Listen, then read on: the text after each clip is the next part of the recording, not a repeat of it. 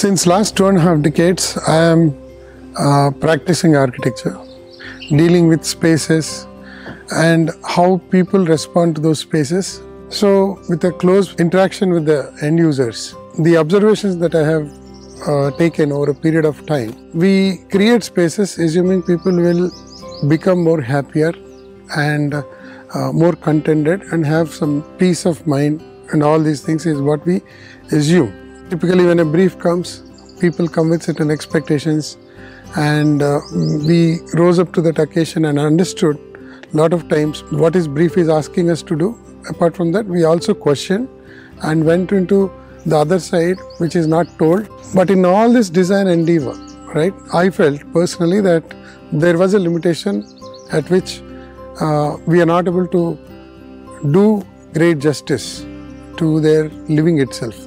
I have chosen around eight years back to get into a path where I create an environment which will impact people's life and bring them more closer to a contented, holistic mindset where their life will be more purposeful. That made us think as a team and as an individual a lot, wherein you create an environment where every human being feels, whoever is involving, and thrives completely.